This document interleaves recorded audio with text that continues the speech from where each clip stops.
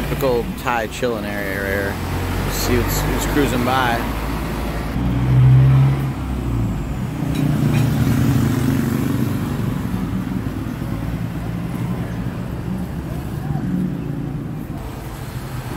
Whole family on that one.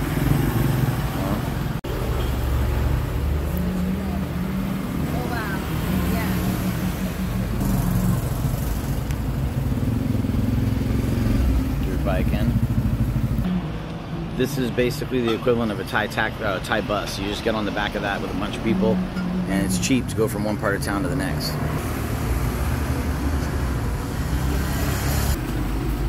This guy, the red, the red demon.